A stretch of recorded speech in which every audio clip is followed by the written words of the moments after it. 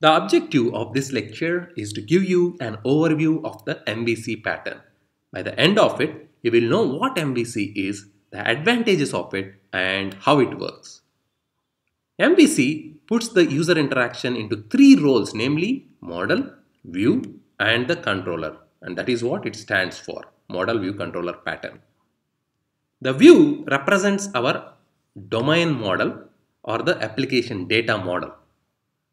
The view will present this model to the end user. For example, if we are working on a hospital management application and we have all the patient information inside the model, the view will allow the end user, it could be a doctor, a service desk or a customer service representative or a front desk representative at a hospital, they can pull in the model information on the view and they can manipulate that data back and forth. The view doesn't directly interact with the model, but it does it through the controller. So it sends the user actions to the controller, which then decides which particular model is impacted. It manipulates the model, the controller manipulates the model, takes the response or the latest model and sends it back to the view, which will then render it. That is one of the very important principles, the separation of the view and the model is where we derive a lot of advantages from MVC. That is one of the guiding principles of MVC pattern. The first advantage is reusability. Since we separate out the model, we can use the same model for multiple views. For example, we can use it for a web application, a mobile application, and a kiosk application. Kiosk application can also interact with the same model components. As we separate out the model and the user interface, we can test them out easily as it's easy to test the model on its own.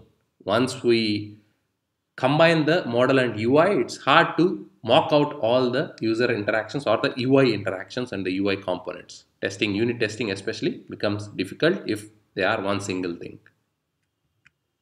How many times have you seen developers complaining they want to work on the backend and not on the UI? That's changing in the recent years because of the evolution of several JavaScript frameworks.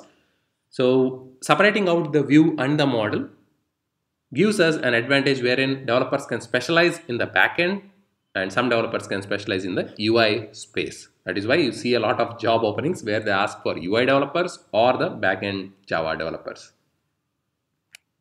Last but not the least, once we separate out the view, the model, it's our application becomes very easy to maintain. If some production issue happens, we can easily isolate it to the model or the view and work on the respective code pieces and fix it quickly. The two popular MVC frameworks in the Java space are Struts and Spring MVC. More about that later on. So to summarize from this lecture, you have learned what a MVC pattern is, stands for model, view and controller. The model represents the entire domain data model of our application. The view represents or allows the users to manipulate that model through the controller. This separation of the view and model offers several advantages like reusability, easy testing, specialization of the UI or the backend development, and also easy maintenance.